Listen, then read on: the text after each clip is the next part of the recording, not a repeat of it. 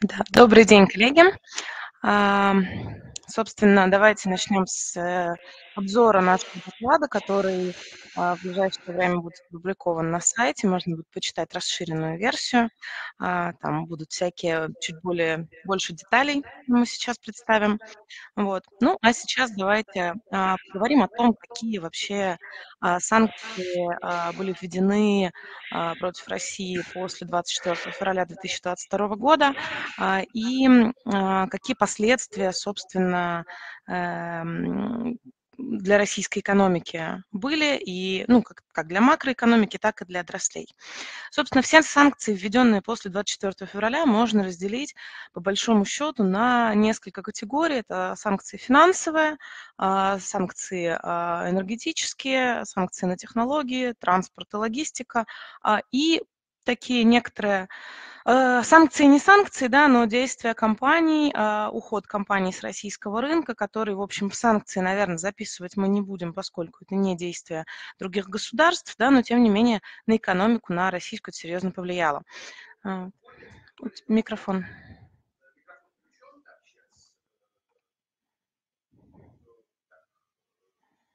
Сейчас, одну секундочку. Антон э, Валерьевич хочет что-то добавить.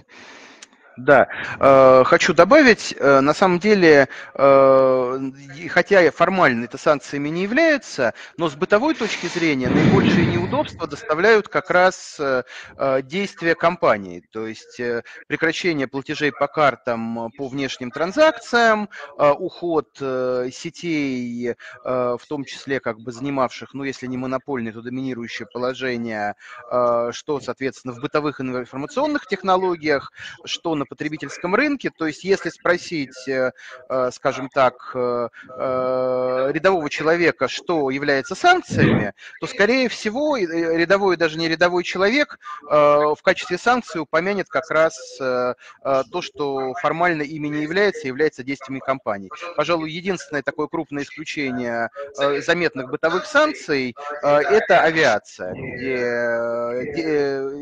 это решение Евросоюза и других государств, государств. Вот, во, всем, во всех остальных вопросах э, как бы наибольшее, э, наибольшее влияние на текущую жизнь оказывают именно действия компании. А, да, ну, собственно, а, перечислять, наверное, ключевые какие-то санкции да, по этим направлениям я не буду. Это на слуху у всех а, более-менее. Они представлены на слайде.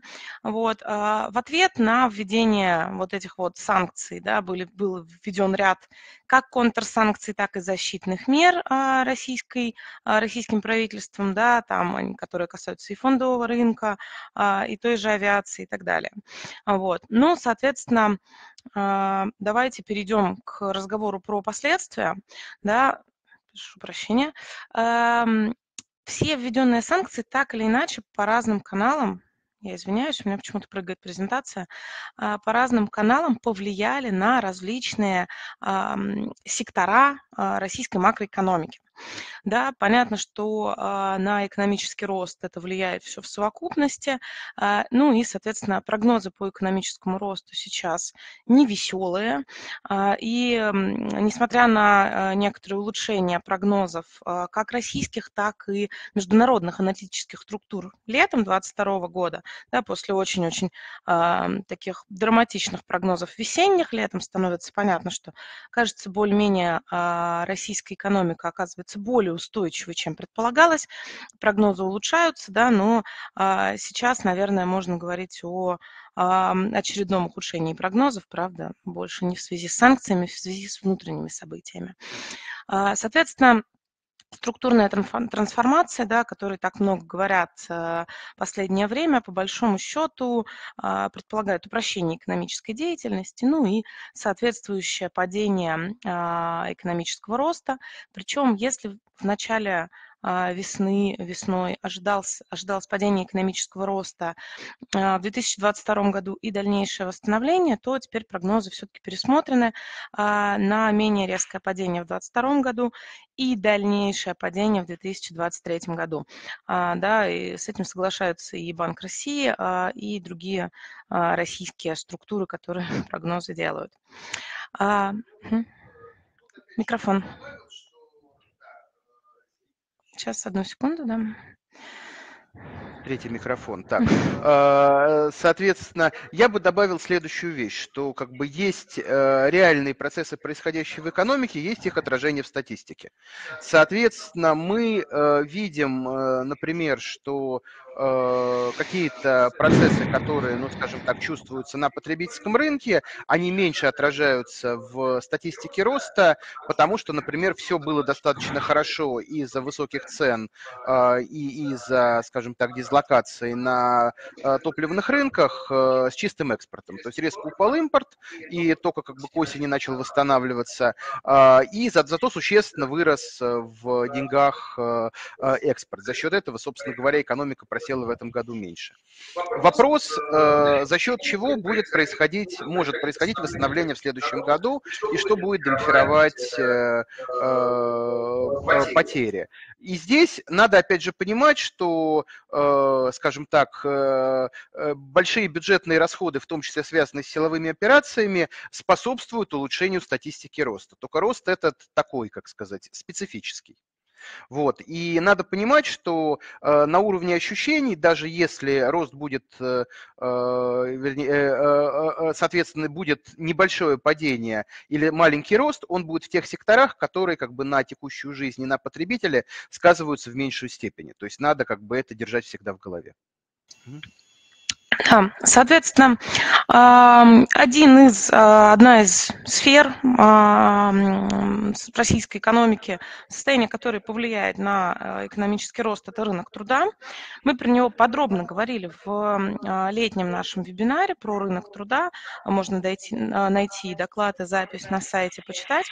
Ну, соответственно, если вкратце, да, то на рынок труда в первую очередь влияет как раз уход um, существенного количества зарубеж, э, зарубежных компаний с российского рынка, да, то есть сокращение рабочих мест с одной стороны а, и отъезд как высококвалифицированной, так и низкоквалифицированной силы из России.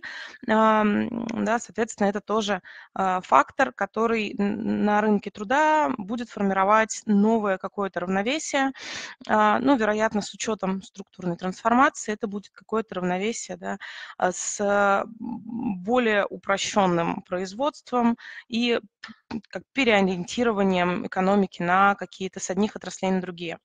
А, ну и кроме того, опять же, говоря о а, статистике, которая не всегда отражает а, происходящие экономические процессы, да, статистика по безработице весьма хорошая, а, но это, как мы уже обсуждали летом, связано в первую очередь с существованием безработицы в скрытой форме, простой, а, неполный рабочий день и так далее, и так далее.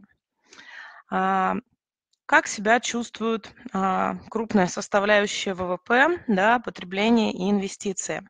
Соответственно, мы видели весной 2022 года пик потребления, ажиотажный спрос, а, причем сначала а, люди покупали запас а, непродовольственных товаров, да, первый пик – это закупка непродовольственных товаров, дальше был небольшой пик а, формирования а, каких-то запасов продовольственных товаров, да, ну, как таких э, квази-инвестиций, э, ну, для именно а, на индивидуальном уровне, да, ну, запасли соль, крупу и так далее. Вот. После этого потребление замедляется, ну, что достаточно естественно после какого-то ажиотажного всплеска, и оно замедляется достаточно долго, и на самом деле до сих пор, в общем, оно продолжает постепенно замедляться, замедляться, замедляться. Вот на верхнем левом графике черная линия – это а, данные Сбериндекса по всем товарам и услугам. Мы видим, что потребление так медленно, медленно, медленно падает. А, вот, ну, соответственно, по разным категориям товаров по-разному, но тем не менее. Инвестиционная активность тоже снижается, тоже по понятным причинам. Ну, во-первых, а, а, при высоком уровне неопределенности в ситуации кризиса да, инвестиции вообще практически не осуществляются, ну, кроме каких-то там фундаментальных, существенных, запланированных давно. А, кроме того, серьезно ограничен доступ к иностранному капиталу, да, то есть и с той точки зрения, что компании не могут получить иностранное финансирование, и с той точки зрения, что инвестиционные проекты иностранных компаний в России сворачиваются в связи с их уходом. И даже многие компании, которые не ушли с российского рынка пока, они а, инвестиционные проекты здесь все равно сворачивают, потому что, в частности, тоже высокий уровень неопределенности. Чем выше уровень неопределенности, тем хуже себя чувствуют инвестиции. Ну и кредитная активность, естественно, на этом фоне тоже замедляется. Вот. Соответственно, что касается платежного баланса и бюджета, в начале весны, весной а, российская вот эта ситуация а, и начавшийся конфликт, и санкции, и экономический кризис в России приводят к а, серьезному росту цен на нефть, потому что мир начинает нервничать, непонятно, какова будет ситуация на рынке, цены на нефть растут, и одновременно с этим существуют ограничения на импорт в российскую экономику зарубежных товаров. Ограничения импорта растут, цены на нефть растут, доходы от экспорта тоже растут. А, и так у нас э, формируется очень сильное повышательное давление на российский рубль. Рубль начинает расти. Да, в середине лета очень, очень активно а, это обсуждалось во всех СМИ, очень много комментариев э, коллеги давали по поводу того, а, как же так вышло, что вот у нас так все плохо, а рубль растет. Да? Это как вот Антон Валерьевич любит сравнивать. Э, не всегда, когда температура 36,6 у больного, не всегда это означает, что это хорошо. Возможно, это какие-то искажения, а, и температура 36,6 не означает, что больной в порядке. Вот, соответственно, а, мы ожидаем в ближайшее время а, ослабления национальной валюты на фоне введения нефтегазовых эмбарго или ограничений на импорт. Да, это пока не в полной мере понятно, как это будет работать, потому что сейчас как раз наш вебинар приходится на э, момент высокой неопределенности в отношении будущих санкций. Ну, понятно, что точно совершенно будет происходить снижение экспорта нефти и газа России э, в западные страны, при этом переориентировать весь этот экспорт на азиатские страны, на азиатские рынки в ближайшее время, скорее всего, а, не будет возможно в полном объеме, да, поэтому мы ожидаем в скором времени ослабевания российской валюты. Вот. Те же факторы влияют а, и на а, национальный бюджет, да, на федеральный бюджет. Проседают сначала не нефтегазовые доходы, доходы на фоне экономического кризиса, и затем уже в а, июле-августе проседают и нефтегазовые доходы бюджета. А, в частности, на это влияет, а, на бюджет влияет и сокращение подушки безопасности а, да, из-за заморозки резервных активов Центрального банка, ну и вот это соотношение экспорта экспорта и импорта. Антон Валерьевич. Да, ну я бы тут добавил две вещи, что, во-первых, э, с валютой э, мы действительно ожидаем снижения, но, так сказать, э, рынок в последнее время очень сильно, скажем так, волатилен, назовем это в цензурных выражениях, как из-за того, что у регулятора и крупных институтов меньше возможностей проводить сделки по более традиционным валютам, так и в том, что приходится выполнять сразу много задач, при этом сама валюта э, на рынок притекает, э, но при этом проблема, что как бы сейчас э, часто играет роль, как, как проводится платеж, и чтобы это, что, чтобы это устаканилось, требуется достаточно большое время. А поэтому сейчас, скорее всего, мы как бы ждем в среднем некоторого ослабления, но при этом Э, э, э, но, но, но при этом мы не ожидаем, скажем так, событий масштаба весенних, при этом конкретные, конкретные падения могут быть достаточно, достаточно существенные.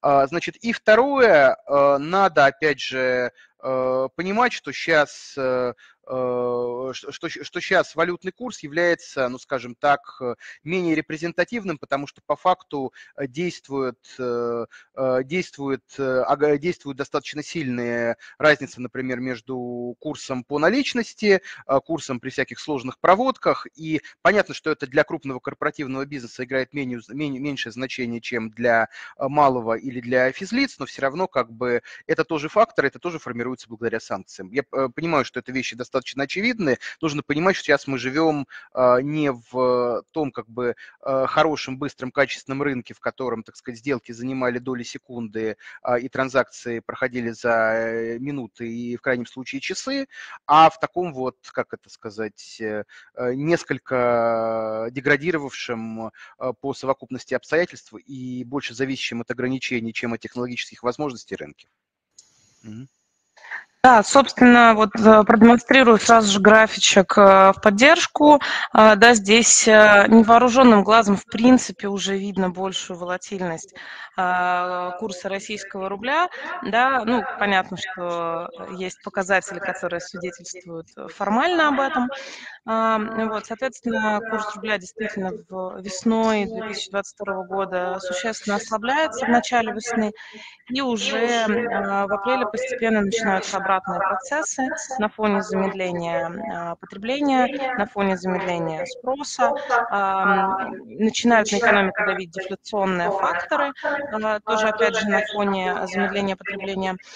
И с другой стороны а, баланс э, экспорта и импорта да, начинает меняться, и, соответственно, постепенно э, инфляция замедляется, в частности из-за того, что э, укрепляется курс валюты, да, то есть э, летом, э, да, можно было, а, в конце весны, летом можно было посмотреть, и сейчас, в принципе, примерно похожая ситуация. Сейчас чуть сложнее смотреть, что а, многие дефляционные именно процессы, они связаны именно с снижением уровня цен на товары, которые импортируются в Россию, то есть зависят от курса рубля.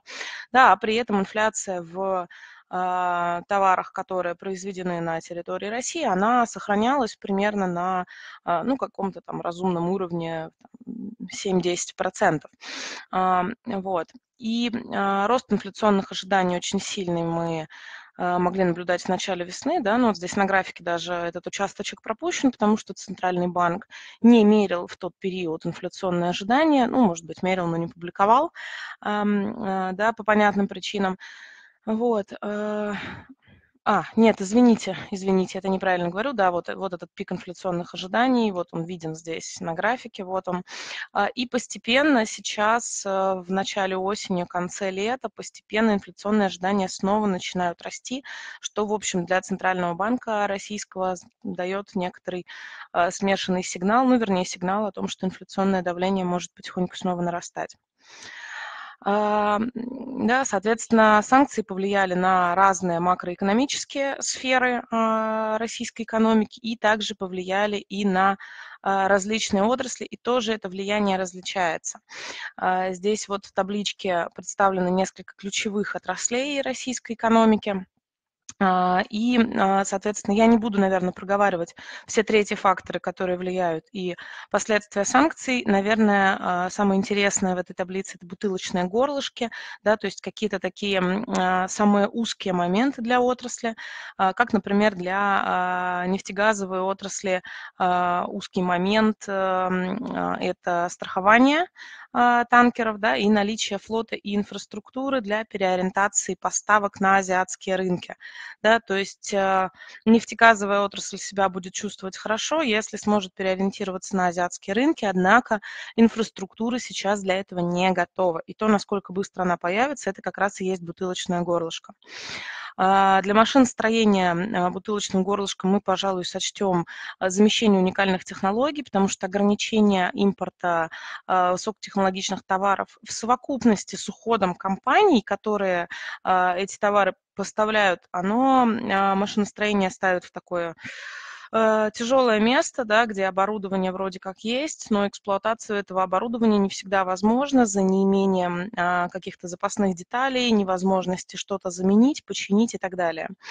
Э, соответственно, в отрасли высоких технологий, э, наверное, самое, самое узкое место – это отток высококвалифицированных кадров, э, как раз в связи с тем, что очень-очень меняется положение на рынке труда, да, уходят и компании, что тоже влияет на отрасль отрасль высоких технологий, и из России уезжают высококвалифицированные специалисты. В отрасли торговли в целом последствия санкций схожи с последствиями пандемии, да, тоже меняется товарная структура, ну, соответственно, часть производителей уходит с рынка, ритейлерам необходимо менять ассортимент, э, как-то ждать, пока потребитель к изменению этого ассортимента привыкнет, и с другой стороны необходимо налаживать э, новые логистические цепочки, что, в общем, затруднено, да, там, с западными партнерами, это совсем тяжело сейчас. И а, узким местом, таким бутылочным горлышком мы бы назвали переход на российские информационные системы, а, да, потому что а, зарубежные информационные системы в массе своей больше недоступны российскому клиенту, да, поэтому необходим переход на российские информационные системы. Ну, при этом они есть, да, как бы здесь не требуется сначала какой-то большой этап импортозамещения проходить, но, тем не менее, это процесс, это процесс тяжелый. А, в металлургии эм, Соответственно, тоже проблема экспорта, невозможность экспортировать в прошлом объеме, и еще и мировая конъюнктура а, не, неудачно а, сказывается на российских а, металлургах. Да, соответственно, ключевые какие-то, ключевое бутылочное горлышко – это тоже логистика и платежи, да, то есть невозможность в полной мере хорошо осуществлять транзакции финансовые. А, в сельском хозяйстве затруднен экспорт зерновых, затруднен а, доступ к сельскохозяйственному оборудованию, да, причем эта сфера такая а, с точки зрения санкций может быть э, самая подвижная, потому что сельское хозяйство считается таким, такой ключевой отраслью для мировой продовольственной безопасности, в частности, Россия достаточно существенный игрок, поэтому Евросоюз вот недавно снова ослабил санкции в отношении российских удобрений. Вот. А, но в любом случае а, российские сельскохозяйственные производители чувствуют себя а, неважно, и ключевое бутылочное горлышко, ну, здесь два мы их выделяем, это поставка импортных сельскохозяйственных материалов, генетического материала для животноводства и так далее, и так далее. И проблема комплайенса зарубежных контрагентов, которая на самом деле э, это проблема для всех отраслей, это проблема для всех российских Э, производителей компаний, а, что зарубежные контрагенты больше не могут работать с прежней скоростью с российскими компаниями, потому что а, необходимо соблюдать э, протоколы риск-менеджмента, необходимо проводить дополнительные проверки, а, и это сильно затрудняет экономическую активность. Вот, собственно, по отраслям, если Антон Валерьевич хочет что-нибудь добавить. Микрофон. Соответственно, хотел добавить в целом, тут поступил вопрос, что вы специально не делите санкции на персональные и секторальные.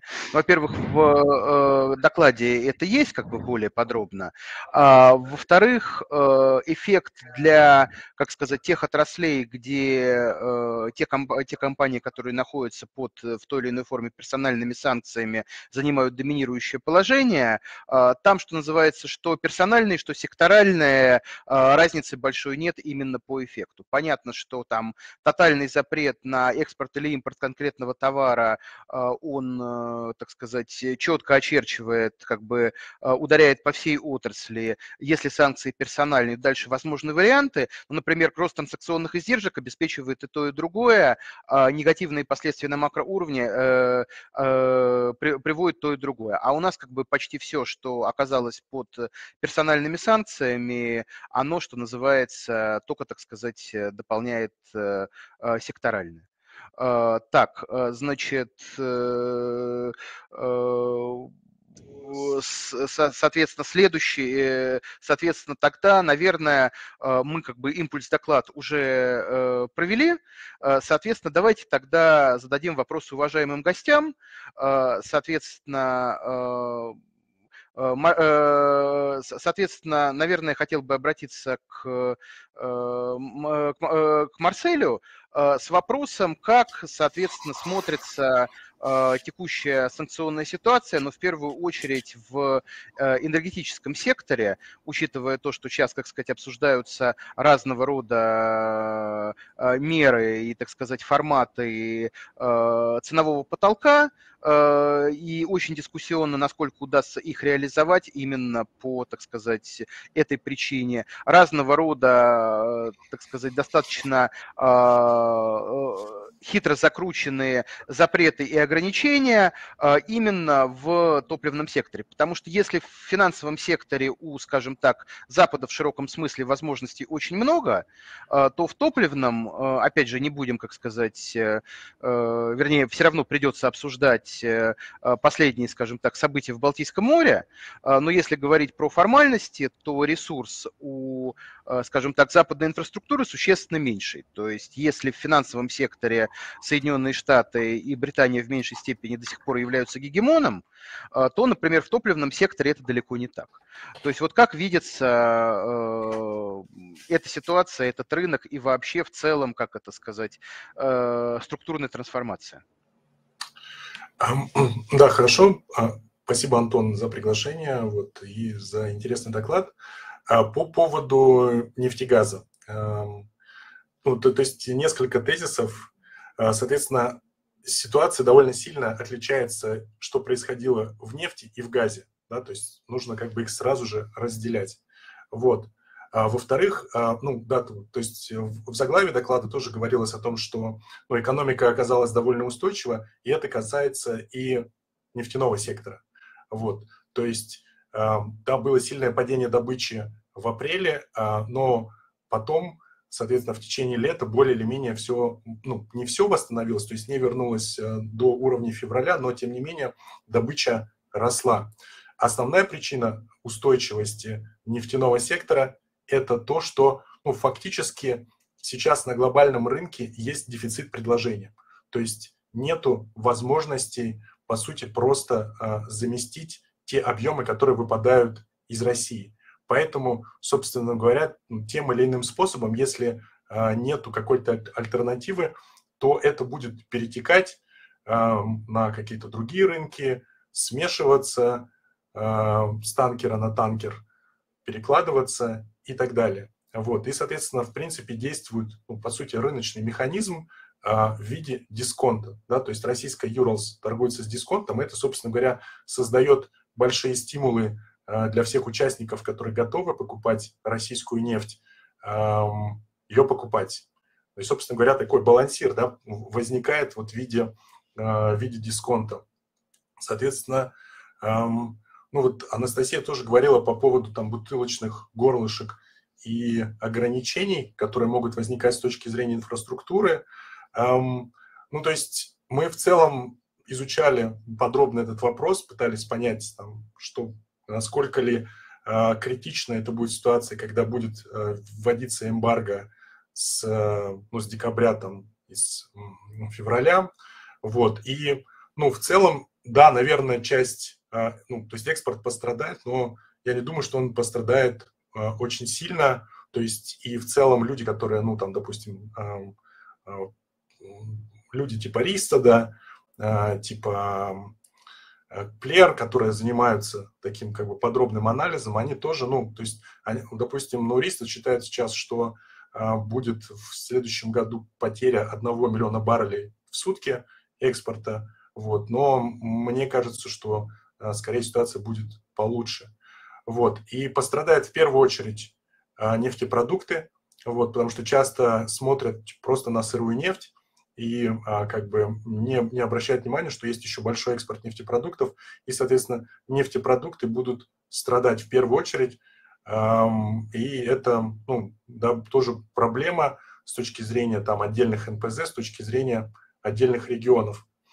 Эм, соответственно, что касается прайс-кэпа, который сейчас как бы обсуждается, планируется его вводить, вот. Детали пока неизвестны и непонятны, соответственно, непонятен уровень прайс-кэпа, непонятен э, механизм э, контроля и, и как это будет э, реализовано, да, ну и, соответственно, непонятно, присоединится ли кто-либо еще э, за пределами стран, недружественных.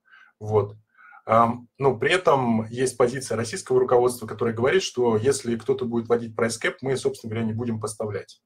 И, ну, как бы краткосрочно такая стратегия, она вполне рабочая, да, то есть она будет просто приводить к тому, что цены подрастают, вот, и, соответственно, эм, как бы это нивелирует эффект от возможного сокращения объемов. Но при этом надо понимать, что сейчас э, фактически Россия поддерживает ОПЕК+, то есть, а, ну, и ОПЕК, а, в частности, ну, то есть они об этом не говорят, но фактически они против э, механизма прайс-кэпа, потому что они понимают, что дальше потом могут прийти за ними, вот, и, соответственно, картель со стороны покупателей – это та угроза картелю со стороны производителей. Э, поэтому, э, поэтому, ну и, собственно говоря, в частности, допустим, нефтепродукты российские а, которые ну, вот, страдают а, а, из-за того, что европейский рынок там закрывается, вот они в том числе ориентируются ну, на Ближний Восток, вот, и, собственно говоря, происходит такой как бы трансфер, да, то есть Россия поставляет на Ближний Восток там, вот, а, соответственно, ближневосточные производители поставляют там, либо сами, ну, как бы потребляют, либо экспортируют куда-то дальше. Вот. Um, ну, это вкратце то, то что по нефти, вот, соответственно, по газу. А по газу фактически ну, западные страны не вводили санкции, и те ограничения, которые есть, это в первую очередь ну, действия России. Да, то есть Россия там вводила платежи в рублях, там а, отключала те страны, которые не готовы соответственно, ввела санкции против э, там, Европолгаза, что остановило, ну, Польша тоже ввела, да, и в итоге Ямал Европа тоже остановился, как бы и не работает. Соответственно, да, сейчас есть э, ситуация по Северному потоку и так далее. Вот, соответственно, а, ну, из-за того, что европейский рынок был так сильно зависим от европейских, от российских поставок, да, то есть там 40% потребления приходилось нам э, на российский газ, то эта стратегия, ну, она вполне работала, и, собственно говоря, «Газпром» получал в последние месяцы а, ну, рекордную выручку просто потому, что цены компенсировали падение в объемах. Но это, как сказать, это работает до поры до времени, да, потому что, ну, сейчас фактически а, объемы поставок, которые идут сейчас через Украину и через турецкий поток, ну, они там в пять раз меньше, э, чем было того, что в прошлом году. Ну и, соответственно, то есть необходима как минимум цена ну, там, в пять раз больше по сравнению с прошлым годом, чтобы компенсировать. Или, или больше даже. Вот, поэтому, э, собственно говоря, ну, это, у этой стратегии такой ограниченный срок жизни. И ну, мы думаем, что, как сказать, ситуация, видимо, особо не изменится. Вот российский, то есть европейский рынок, он будет постепенно, а, ну, как бы закрываться, то есть будет, произойдет в течение там нескольких лет такое разделение, да, соответственно, а, Европа будет жить, а, там, с, ориентироваться на СПГ с высокими ценами, то есть понятно, что у них сейчас структурно будут высокие цены, и это, ну, создает всякие проблемы для экономики, но там всякие предположения, которые у нас там часто как-то есть про то, что вот там Европа замерзнет и все такое, но это, так сказать, э, ну это, это не будет, но экономика, естественно, будет страдать. Соответственно, Россия, Газпром, ну это будет становиться компанией в первую очередь ориентированной на внутренний рынок, потому что, ну, собственно говоря, альтернативы, а, куда можно перебросить этот газ, они очень ограничены. То есть фактически из той инфраструктуры, которая есть сейчас, это ну, Турция, а немножко Центральная Азия. Но в целом надо понимать, что все эти рынки, на них цены сильно ниже. То есть даже Китай, который там обсуждается, вот э, Сила Сибири 2 и так далее, да, ну, те цены, по которым сейчас Россия продает в Китай, они там кратно ниже того, что есть в Европе. Поэтому, собственно говоря, даже если происходит переориентация каких-то объемов, то потеря в цене еще происходит довольно существенно. Вот. Но при этом эм, надо понимать, что ну, Сила Сибири-2 по нему контракта нету, соответственно, Силу Сибири-1 строили пять с половиной лет, а, и, ну, да, то есть если даже сейчас, в этом году, допустим, будет заключен контракт долгосрочный по Силе Сибирь-2, ну, это окей, там 5 лет, и, соответственно, это ближайшие годы никак ситуацию не меняет. Поэтому по газу, да, я думаю, что «Газпром» это будет становиться такой компанией, в первую очередь ориентированной на внутренний рынок, отчасти мы это видим, уже там принимаются решения там, по повышению э, регулируемых цен, повышению НДП и так далее. Но, собственно говоря, делать нечего, что-то нужно менять. Вот. Um, um, ну и прайс кэп по газу, как бы еще более идея странная, вот, и я думаю, что ее не будет, но европейцы вроде бы от нее отказались.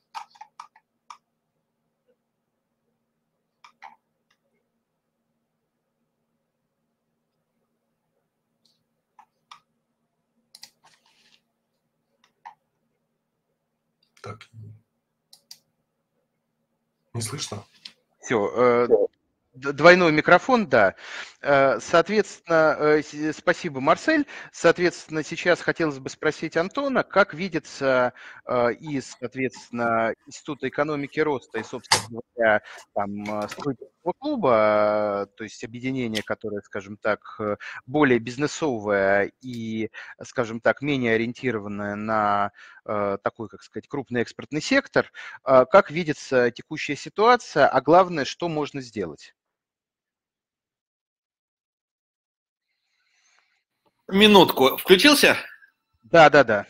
А, Антон, э, приветствую, Марсель, приветствую, Анастасия, все, приветствую, уважаемые участники вебинара, уважаемые слушатели, приветствую.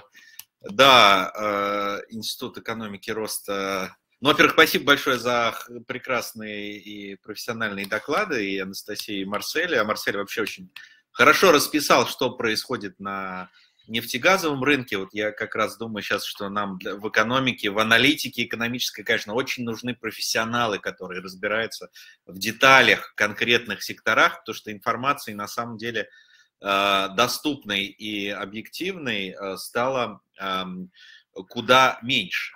Но, э, тем не менее, значит, пока она была, Институт экономики и роста, конечно, тоже сразу подключился к анализу э, того, что происходит, да и к выработке э, предложений э, того, что можно э, сделать в этой э, ситуации. И, в общем-то, где-то я даже скажу, что нас чуть-чуть э, услышали. Действительно, все э, примерно так, как э, говорит э, Анастасия, да, с точки зрения того, что, в общем-то, как, ну, как средняя температура по больнице она оказалась э, не такой плохой, э, да, как ожидалось изначально, но по секторам очень сильно все варьирует, и э, если вы помните, возможно, кто-то смотрел или присутствовал а, на Столыпинском клубе, который мы проводили еще в апреле, там детально рассматривали да, ситуацию вот по импортозамещению, по состоянию отраслей, и, в общем-то, так, как там все было описано, так все и получалось. Я, чтобы вот очень так по-простому попробовать объяснить, что происходит, специально подвинул а, флипчарт и а, попробую как бы нарисовать очень просто, что такое вообще экономика, да, то есть вот сверху я нарисую вот этими кружочками, это сообщество поставщиков, производителей, да, это они наверху пирамиды, а внизу пирамиды это сообщество э, потребителей, то есть тех, кто потребляет э, э, то, что делают э, производители. И, соответственно, весь экономический процесс, там тут очень много прокладок, прослоек, тут есть расчетные системы, тут есть посредники, да, там вот в рыночной системе это какие-то, значит, тоже такие вот э, э, торгово-сервисный сектор. В э, командных экономиках это госменеджеры, которые, значит, лучше знают, что нужно потребителям и дают сигналы сюда. Но в целом это вот, вот потребитель дает сюда сигнал, да, а, а, о том, что ему нужно. Производитель это делает и возвращает потребителю, условно говоря, товары, услуги, да, и все это собирается на каких-то там неких складах, да, а, как вот по-простому склад товаров и услуг. А, при этом это одни и те же люди, да, то есть э, производители это группы потребителей, которые объединились для того, чтобы а, производить. Вот э, что произошло в нашей экономике в связи санкциями? Еще вот так вот можно это вот отгородить, да, границами. Вот, вот это вот читаем Россия, да, это санкционные страны, а, а это вот так называемые а, дружественные страны. А, что, по сути, у нас а, произошло? Потому что потоки шли не только внутри России, они шли еще от российских производителей к потребителям в санкционных странах. А, они а, шли, значит, запросы а, от российских потребителей к производителям в санкционных странах, да, ну и, соответственно, с дружественными было примерно то же самое. И что случилось? По сути, значит, э, вот эта возможность, да, во многом передавать сигналы от российских потребителей к э, производителям в санкционных Э, странах она, ну, так скажем, э, частично элиминировалась. И то же самое, да, то есть э, прохождение сигнала от потребителей в санкционных странах в Россию и, соответственно, поставки из России товаров да, на, на, на эти санкционные рынки, оно тоже стало очень сильно затрудненным. В общем-то, какой выход да, во всей этой истории а, а, он напрашивался и был возможен? Это, значит, а, во-первых, получать сигналы от э, потребителей в дружественных странах, перенаправлять потоки туда и, соответственно, брать из дружественных стран да, то, что выпало из поставок от недружественных стран. Вот это вот вся такая краткая суть э, произошедшего кризиса. Э, более того, он такой, он не финансовый кризис, э, который произошел, это чисто такой структурно-политический кризис, достаточно беспрецедентный, в котором Россия, вот она по сути должна была делать это. И третье направление, да, которое есть, это, собственно говоря, вот вместо производителей, которые есть в санкционных странах, а, пытаться перекидывать вот то, что они раньше делали для российского рынка, делать своими силами и, соответственно, удовлетворять спрос, который идет сюда, да, от, отсюда, с российского рынка, тоже своими силами. Вот основные направления. Значит, что, по сути, у нас сделало правительство для того, чтобы вот эти все а, процессы а, запустить. Не только правительство, но и, конечно, бизнес. Бизнес сейчас, да, вот мы вот сейчас находимся в той точке, когда у нас еще прогноз по ВВП минус сколько там, минус 2,9, да, по-моему, по Минэкономразвития. Ну, с учетом последних событий, конечно, этот прогноз, возможно, Э, придется пересмотреть, потому что мы сейчас понимаем, что будут трудности на рынке труда, да, то есть и общая неуверенность э, добавляется, что это ухудшает перспективы э, инвестиций. Но, тем не менее, почему вот это вот минус 2,9, достоверно оно, недостоверно, но действительно ситуация и прогнозы, они объективно улучшались. Почему это смогло произойти?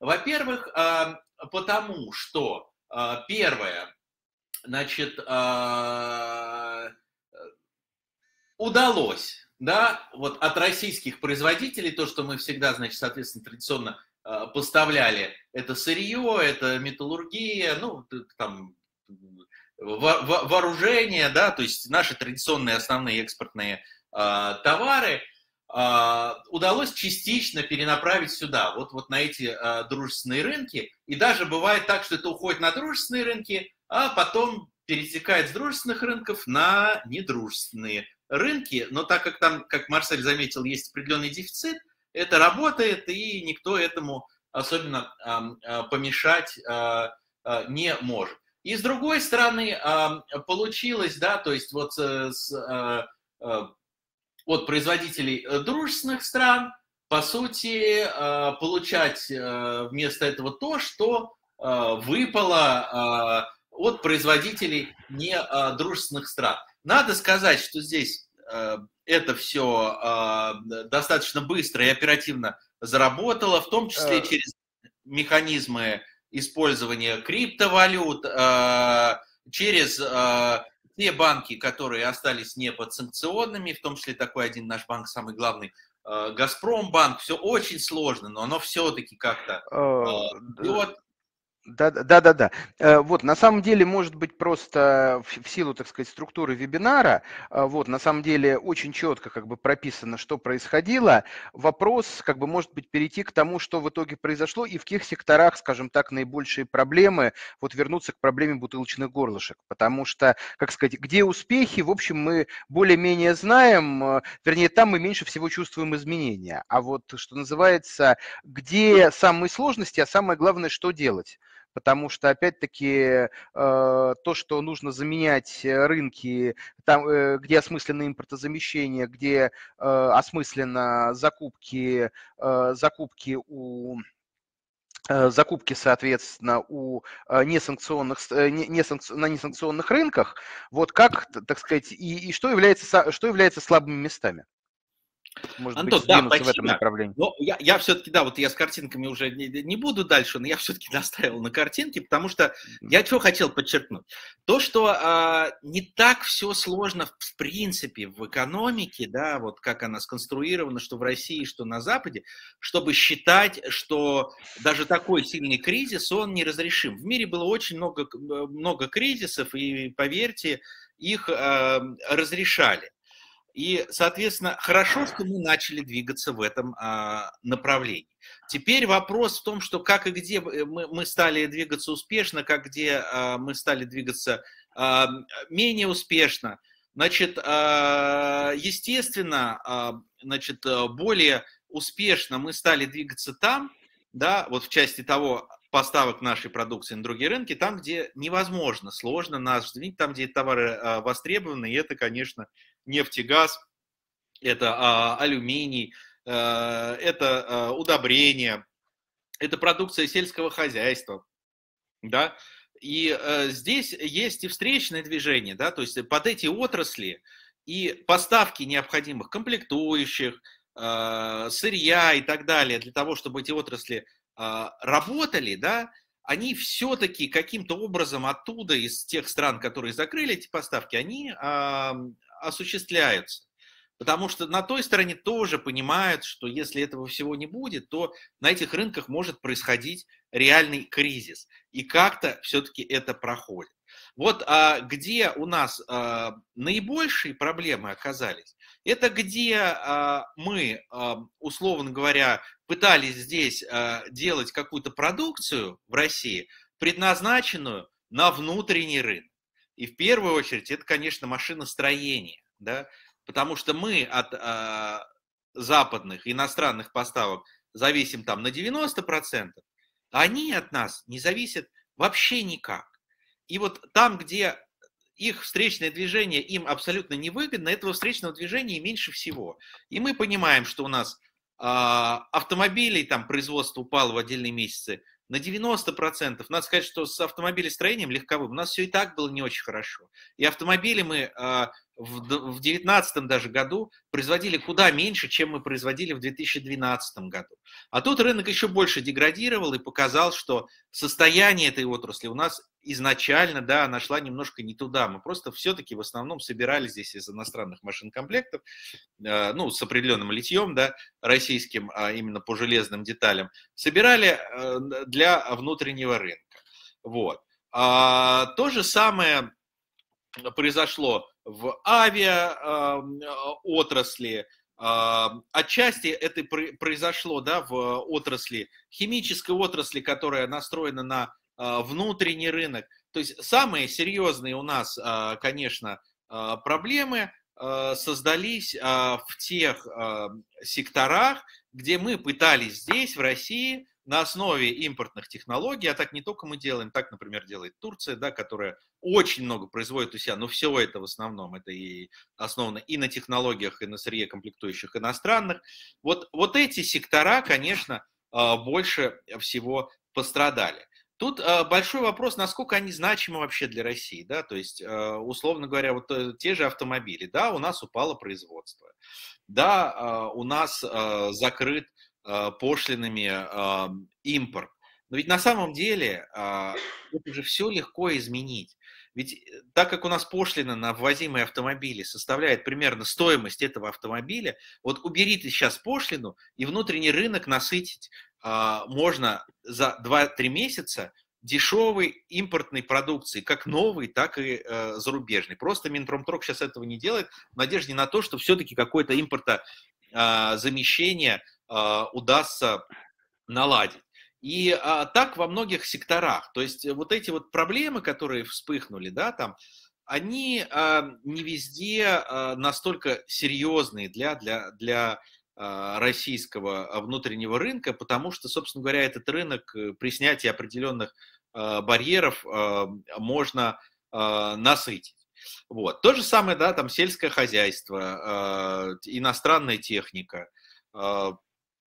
Но там проблема тоже, в принципе, оказалась относительно решаемая. Во-первых, это обходные поставки, во-вторых, это, в общем-то, очень много, оказывается, у нас на рынке делают всяких деталей к сельхозмашинам, и это а, работает. Вот, поэтому решения потихоньку они а, везде находятся. Но а, что происходит? Да, происходит то, что мы можем в ближайшем будущем, конечно, столкнуться с определенным ужесточением, еще дальнейшим ужесточением санкций связанным с тем, что попытаются еще более э, закрыть нам возможность оплаты поставок через э, систему SWIFT да, и обходными путями, там пока через криптовалюты, через тот же юань, сложно будет это все э, замещать, потому что все э, больше и больше уже э, как бы эти операции научились контролировать, эти страны, которые ввели против нас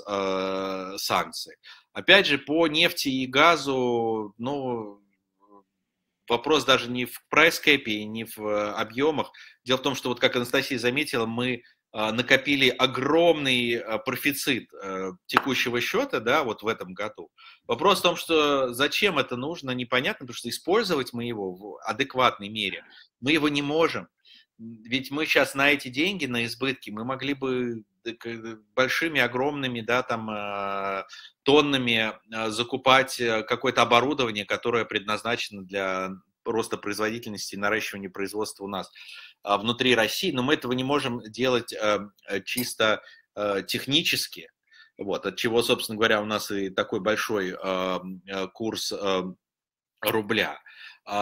И, соответственно, вот исходя из того, что не то чтобы а, наши сектора, да, там очень сильные мы испытываем давление, металлургии испытываем там и на внешних рынках плохо, и в целом, а, соответственно, наша черная металлургия, это было где-то 3% от мирового производства, у нас небольшая доля, и поэтому рынок прекрасно, да, справляется, ну, без нашей а, продукции, вот, пожалуй, это действительно такая одна из самых э, тяжелых отраслей.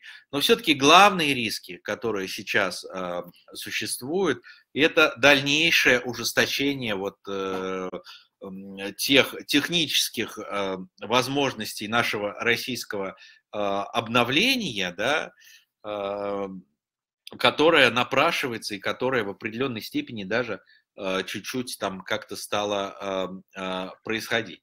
И вот здесь вот, да, что делать? А, надо думать. И прежде всего, вот чего показал кризис?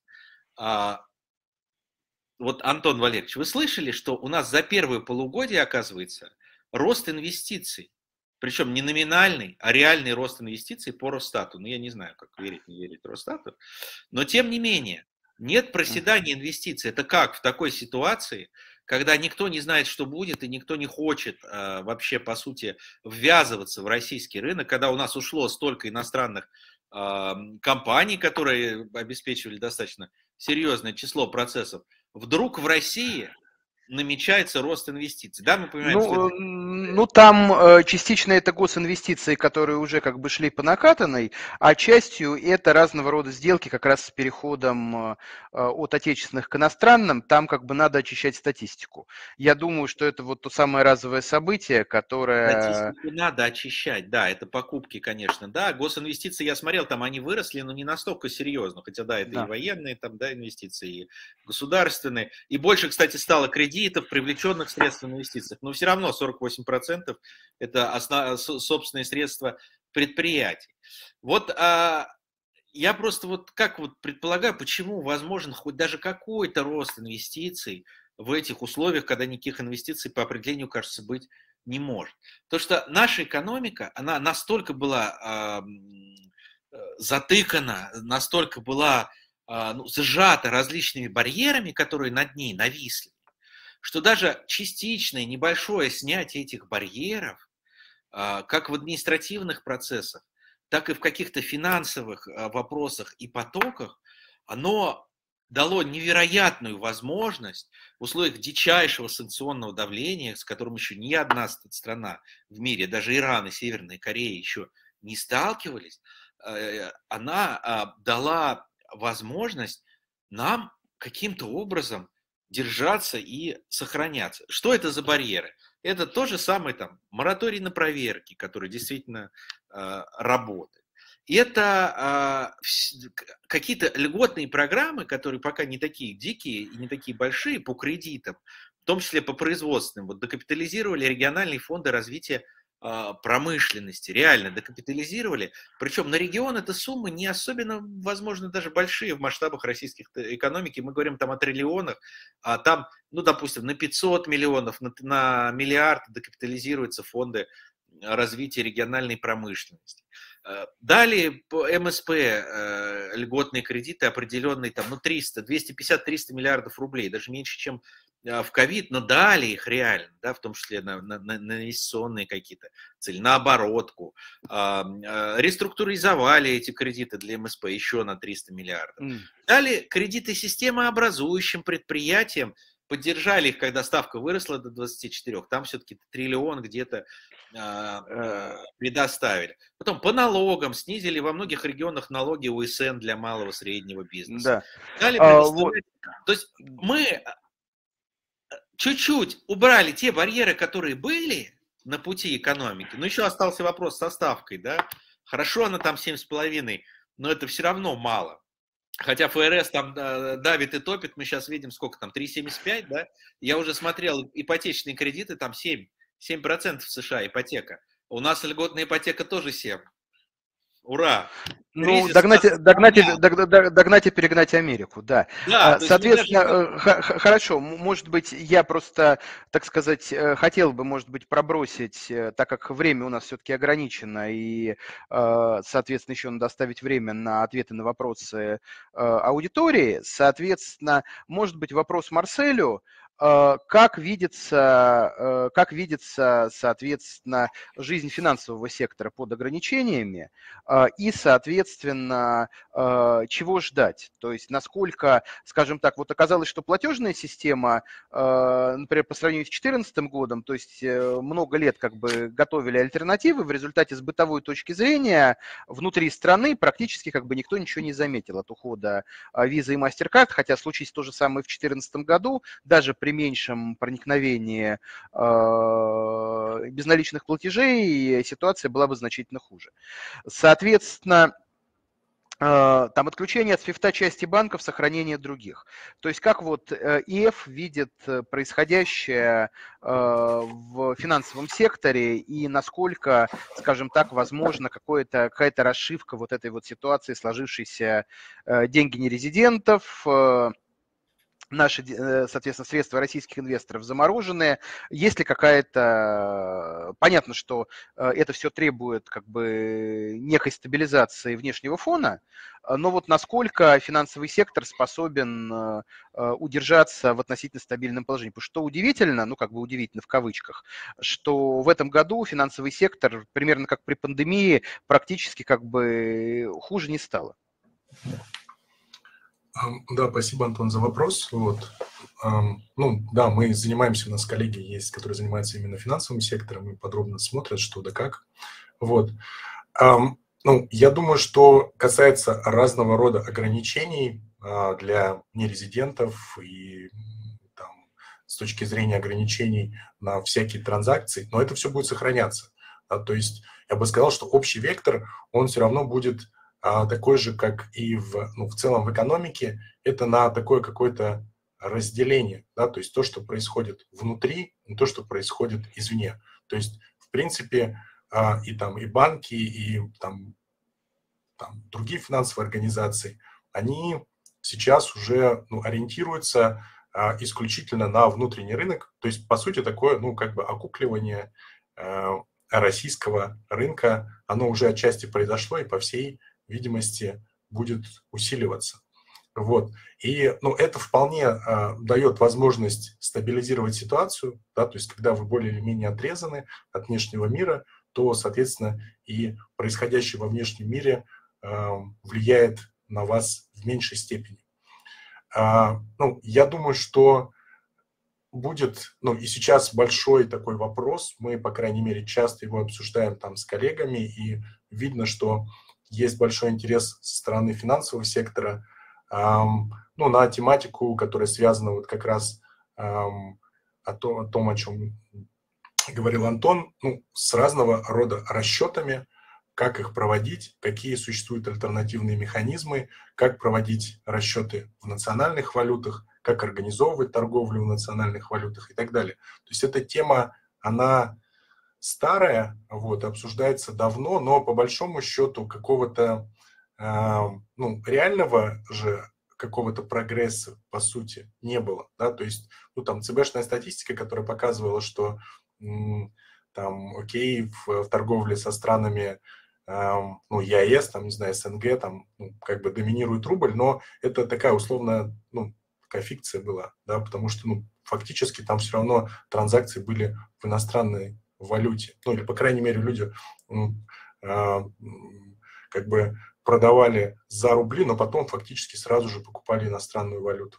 Вот сейчас это становится а, ну, уже не, не, не то, что некой такой, да, там, желаемой э, целью, а необходимостью. Поэтому, собственно говоря, я думаю, ну вот разного рода механизмы, как это произ... Э, как осуществлять э, торговлю, какие-то операции, там, не знаю, с, возможно, и там, с криптовалютой и так далее, это все будет нарастать. Вот. Обсуждается также вопрос про то, что а, вот окей, да, если есть большой текущий счет, то, соответственно, а, нужно его куда-то девать. Да? Мы это вот уже обсуждали, что как-то э, что-то, на что-то нужно это тратить. Но один из возможных вариантов – это как раз там, ну, кредитование в рублях, соответственно, для того, чтобы а, ну, если, допустим, у России есть энергоресурсы, да, которые она может продавать, ну и, собственно говоря, кредитовать в рублях, а, решая таким образом задачу а, ну, сохранения экспорта, с одной стороны, а с другой стороны, мы таким образом ну, вот этот профицит валютный каким-то образом решаем. Вот. Ну, пока, я так понимаю, этот вопрос ну, каких-то конкретных решений сделок и так далее я не знаю, но это в целом хорошая история, вот, и отчасти, ну, как раз, да, может быть, э, что ну, там была же идея про этот э, глобальный финансовый центр в Москве, вот, ну, собственно говоря, кредитовать э, там Турцию в рублях, вот, может быть, ну, идея странная, но, по крайней мере, ее можно обсуждать. Ну, во всяком случае, лучше, чем покупать лиры в текущем да. моменте, да, и создавать в них резервы. Вот, э, это тоже, как я понимаю, эта мысль э, иногда приходит в голову. Соответственно, вопрос, э, вопрос к Антону. Соответственно, ну, как бы, как это, малые дела в плане, э, здесь как бы сократили сократили, сократили, здесь опять заморозили проверки, как говорится, это, как сказать, это, в общем-то, с одной стороны, действительно дело хорошее, с другой стороны, это как на плакатах, что, соответственно, что делать, надо заваривать чай. Вот если не знаешь, чего делать, то, соответственно, объяви о моратории на проверки. Работает универсально. А, значит, э, кредиты что делать для поощрения, э, для, для, соответственно, наполнения рынка и структурной трансформации? То есть э, понятно, что, например, с теми же автомобилями и пошлинами вопрос сложный, потому что, с одной стороны, есть потребители, Э, с другой стороны, есть, э, э, с другой стороны, есть, как это сказать, отраслевые интересы, рабочие места, пусть даже потенциальные, и все остальное. Грубо говоря, недаром столько лет душили импорт поддержанных автомобилей и требовали локализации. В конце концов, как бы заводы были от санкционных стран, будут от несанкционных. Вопрос, опять же, вопрос в издержках. Что можно сделать? делать, при этом не расширяя бюджетное ассигнование, потому что правильно пишут, что приоритеты бюджета сейчас несколько другие. И как бы Антон, денег нет, но да. держаться надо. Спасибо, что вернулся ко мне. Но э, я так скажу, что бюджетное ассигнование все равно расширили. Мы же видим, да, я не помню, на этот год или на следующий дефицит 3 триллиона, да, 29 триллионов mm-hmm. уже дефицит, и а, его финансировать э, планируется за счет э, ОФЗ. А, но вопрос в том, что мир, весь мир так делает и ничего живет. Вот, только, только Великобритания сейчас собирается сколько? 150 миллиардов фунтов выделить на э, компенсацию, значит, удорожания энергоресурсов и занять это, значит, на внутреннем рынке. У населения, у Центробанка это уже э, второй вопрос, да, то есть ассигнования бюджетные в любом случае а, придется увеличивать.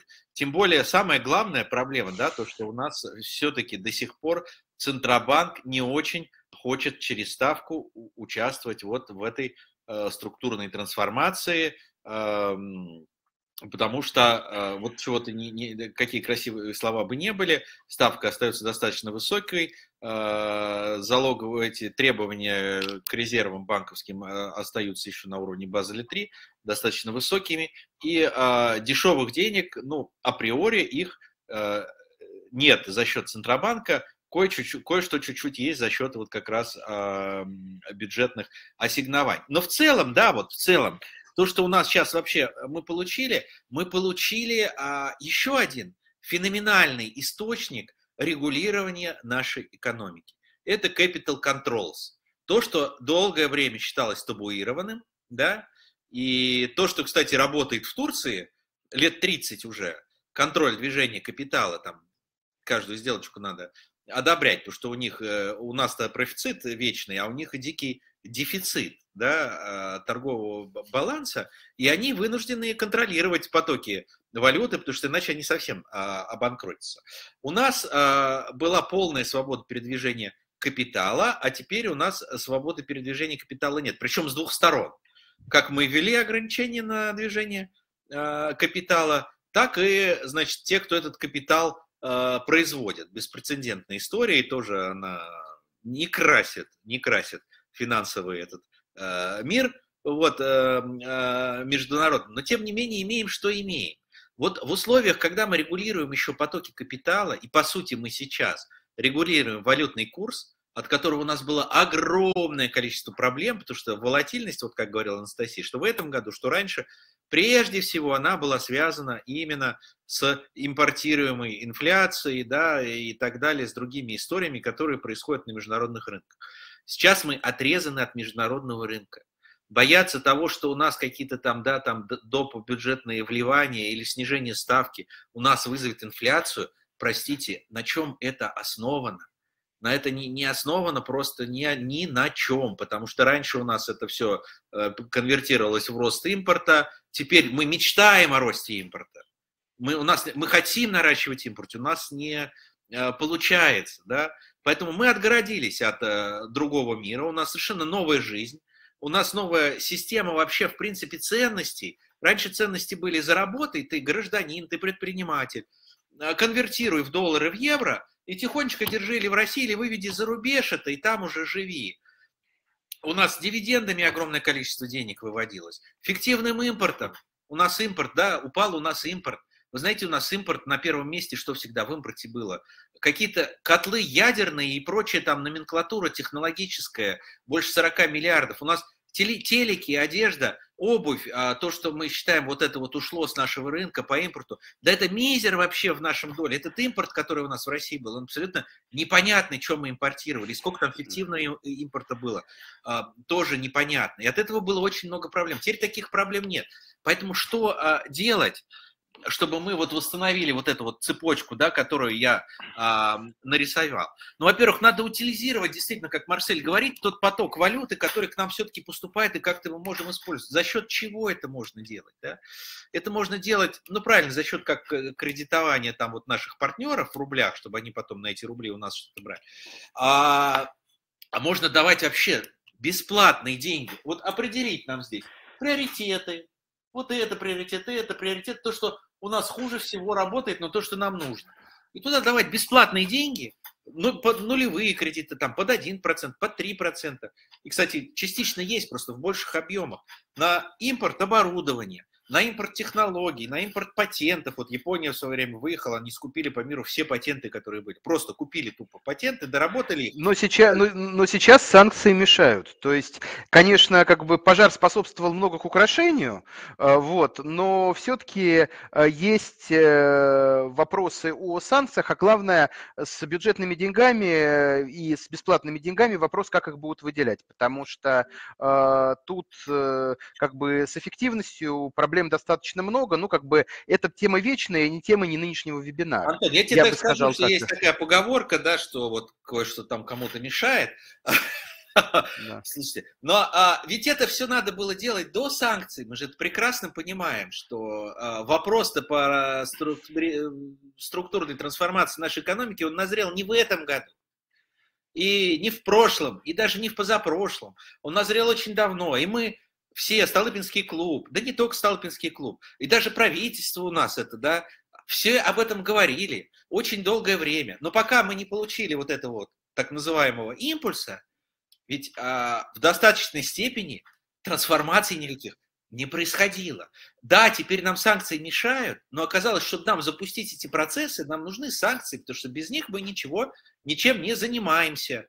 Но это не только России касается, да, это когда пролетел первый спутник на США, там поняли, что надо развивать технологический э, сектор и дали туда нулевые э, налоги. Да, а ну, в общем, э, в, в общем, можно, так сказать, э, рас, э, можно, э, на самом деле, роль жареного петуха в любых, как это сказать, и его клевание в проведении экономической политики, я думаю, это отдельная и очень, как это сказать... Она неоценимая эта роль, к сожалению, да. когда все, все было понятно, что надо делать раньше, теперь это. Но теперь и надо сделать это, да, вот определить приоритеты, дать туда ресурсы, Соответственно, а с другой стороны, понимаешь, что у нас спрос, да, сейчас проваливается на фоне неуверенности, вообще меняется модель потребления. Люди не понимают, чего ждать от этой жизни, в плане того, что раньше это был там, ты накопил там на домик где-нибудь э, за границей или на домик в России, там, ты когда ты ушел на пенсию, да, у тебя были одни ориентиры, сейчас другой, в чем хранить сбережения, на что тратиться сейчас тоже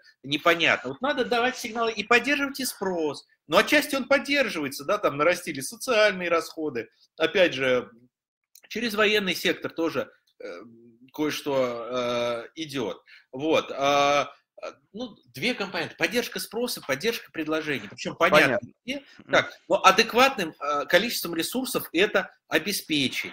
Вот, в том числе через цифровой рубль, потому что цифровой рубль э, гарантирует прозрачность расходов, когда обычный рубль э, прозрачности не гарантирует. Вот, вот решения, они, в принципе, есть.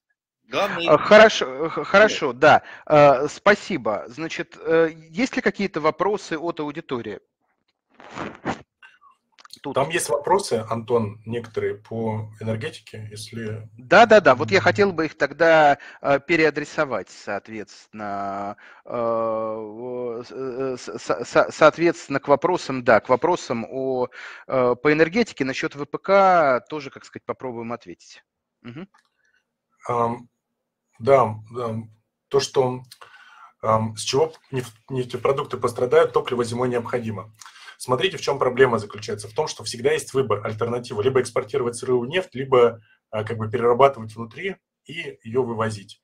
Вот. Проблема заключается в том, что те рынки, которые сейчас покупают больше российской нефти, ну, в первую очередь Индия, которые тоже писали, и Китай, они сами крупные переработчики нефти. То есть у них есть свои НПЗ, вот, и, соответственно, они заинтересованы в том, чтобы именно брать российскую сырую нефть, а не покупать готовые продукты. С продуктами еще какая история, что ну, танкеров, которые перевозят нефтепродукты, их меньше, и они размерами меньше. То есть супертанкеров, на которых как бы выгодно возить на большие расстояния, это сырая нефть. Нефтепродуктов, они как бы маленькие танкера относительно. Поэтому, собственно говоря, и логистика получается дороже. Вот. И плюс, ну, понятно, что там решаются как-то вопросы и продаются и в Турцию, и там Ближний Восток, даже в Бразилию там продают дизель сейчас российские компании. Но в целом это проблема. Вот. И, ну, и это было видно и в апреле, да, когда некоторые э, НПЗ как раз, и там удар был по нефтепродуктам, некоторые российские, российские НПЗ в апреле, они просто встали, они не работали. И э, в ситуации эмбарго, когда, собственно говоря, ну, ключевые рынки для там, российского дизеля, для российского мазута будут закрываться, то это вот будет представлять проблему. Эм, ограниченный срок у стратегии – это сколько СПГ еще построить надо. Um, ну, я думаю, что как раз вот по газу это скорее, ну, следующий год еще как-то uh, можно будет прожить uh, на остатках uh, экспорта и высоких ценах, но уже с 24 соответственно, будет ну, довольно серьезная просадка по ценам, а, и средним ценам, я имею в виду, по которым экспортирует Россия, вот, и объемы, они тоже будут низкими, то есть ну, мы думаем, что в этом году Россия экспортирует где-то 133 миллиарда кубометров, вот, а в следующие годы экспорт будет в районе там 100-110, даже с учетом того, что по э, силе Сибири ну, планово идет повышение поставок. СПГ еще построить надо. А, ну, тут не до конца понятно, о чем идет речь. То есть это экспортные СПГ-заводы по сжижению. А, просто проблема с этой а, идеей, она очень хорошая, вот, но, к сожалению, у России нет готовых технологий. Те технологии, ну, по которым вот строились там Ямальский завод, э, Сахалинский завод, это западные технологии. Вот сейчас они недоступны. Соответственно, Новотек, да, там э, в рамках э, Arctic 2 будет реализовывать, ну, по крайней мере, для следующих очередей а, там как бы российскую, российскую технологию, но пока там непонятно, насколько она а, там будет работать нормально, да, там сколько времени это потребует все, потому что а, когда они на Ямальском заводе ну, использовали арктический каскад, то там возникали проблемы, и сам Новотек не был доволен. Вот. Ну а если говорить про как бы СПГ импортные, которые в Европе, ну то сейчас немцы, допустим, они, ну то есть европейские страны, они заказывают плавающие э, суда, которые э, как бы принимают СПГ и передают газ уже на сушу. Вот это временное решение, ну и, соответственно, сейчас довольно активно будут строить новые терминалы, потому что, хотя, с одной стороны, мощностей у них много в Европе, там, на 200 миллионов тонн хватает номинально принимать СПГ, но э, они как бы очень э, э, как бы распределены неравномерно, да, то есть основные там Испания, там Португалия, Италия, там Франция, да, там, ну, Великобритания, окей, там в Германии не было ни одного терминала по приему СПГ, поэтому, собственно говоря, ну, там, э, нужно строить новые терминалы, потому что неравномерное распределение. Вот. Ну и мне кажется, все на, вопросы про энергетику.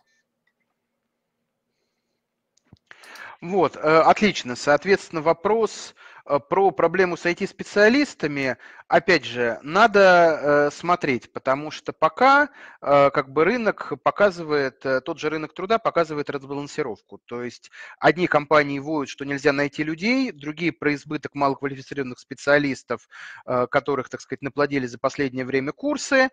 Есть известно, что многие даже вполне российские компании проводят релокацию, в том числе как бы мужского персонала из России. С другой стороны, Минцифры, пожалуй, самые эффективные в плане, как это сказать, защиты интересов отрасли ведомства сейчас. Поэтому, поэтому соответственно, поэтому как бы рано э, что-то как бы говорить, э, э, вернее, не рано что-то говорить, пока, что называется, к сожалению, надо посмотреть, когда немножко как бы шум сойдет, потому что есть ощущение, что в разных подотраслях совершенно разные. Можно только сказать, что если, как говорится, ситуация немножко устаканится, то очень большие как бы казенные, околоказенные ресурсы пойдут в развитие IT-технологий как из-за санкций, так и для, скажем так, оборонных нужд, потому что этой сфере, скорее всего, э, ну, так сказать, потому что сейчас происходит, уделялось не очень много значения, а на самом деле, как бы, она сейчас ключевая. То есть связь, технологии и все остальное. Значит, насчет э, ВПК двигатель экономики, ну, с одной стороны, чисто статистически э, ВПК всегда как бы достаточно активно э, присутствует и, соответственно, создает спрос на практически все ресурсы и, соответственно, тем увеличивает, э, увеличивает э, ВВП. С другой стороны, мы как бы помним, э, у нас в свое время был как раз вот в докладе по национальным проектам был э, расчет мультипликаторов по отдельным секторам, и, скажем так, оборонные расходы давали мультипликатор э, достаточно низкий. Анастасия Викторовна. А, да, коллеги, можете поискать наш доклад по нацпроектам. Там не мы считали мультипликатором, мы делали обзор э, тех мультипликаторов, которые рассчитаны по российским данным. Э, оборонные мультипликаторы в каких-то исследованиях они есть положительные, в каких-то исследованиях они отрицательные, э, то есть дают негативный эффект для экономического роста. Э, там по-разному в краткосрочном, долгосрочном периоде они тоже, естественно, отличаются. Естественно, в краткосрочном периоде э, военные мультипликаторы повыше, долгосрочном периоде чаще всего они не создают второй горб экономического роста. Есть, как любые бюджетные расходы, они создают первый горб за счет просто совершения этих расходов и второй горб а, за счет появления а, каких-то появления чего-то, что провоцирует дальнейшее производство. Ну, как дорога, например, по которой можно что-то возить. Военные расходы такого второго горба не создают.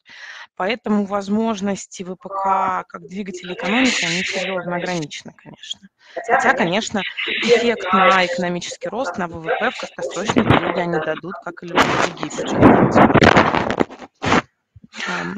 Да, э, соответственно, вот тут есть вопрос про эффект мобилизации. Э, значит, э, пока рано говорить, и только можно сказать, что полноценный переход на мобилизационную экономику определяется не количеством людей, количеством людей, а от того, как сказать, что и откуда люди, до самая главная проблема не в конкретных цифрах, а в тех же бюджетных расходах, в вмешательстве государства в экономические процессы, э, пока, скажем так, э, э, это все идет достаточно медленно и очень ограниченно и точечно если мы говорим про, скажем так, организационно-финансовую сторону. Что будет дальше, ну, зависит. Ну, про мобилизацию, наверное, надо еще сказать, что в любом случае это эффект негативный, понятно, для экономики, но понятно, что как бы а, не экономическими причинами определяется необходимость мобилизации, да, поэтому вот как бы если безотносительно обсуждения там ее необходимости для экономики, это негативное событие, ну, понятно, он наращивает в том числе неопределенность, извлекает рабочую силу с рынка труда и так далее, и так далее. Да, ну все это вещи достаточно известные, как бы понятно, что, э, соответственно, еще вопросы какие-то есть или уже можем закругляться? Вот. Э, вопросов, видимо, вопросов, видимо, уже больше нет, поэтому, во-первых, спасибо нашим уважаемым гостям. Вот, соответственно, доклад будет через достаточно короткое время опубликован на сайте, и э, где-то, я думаю, в самом начале ноября будет следующий вебинар, посвященный как раз теме, которую мы сегодня э, затрагивали, а именно логистике, изменениям в логистических цепочках и вообще, что происходит в нашей экономике с точки зрения как бы логистической организации и как э, будет происходить все это. Поэтому следите за информацией, я думаю, что будет достаточно интересно. Спасибо. Спасибо большое, коллеги. Спасибо. Спасибо.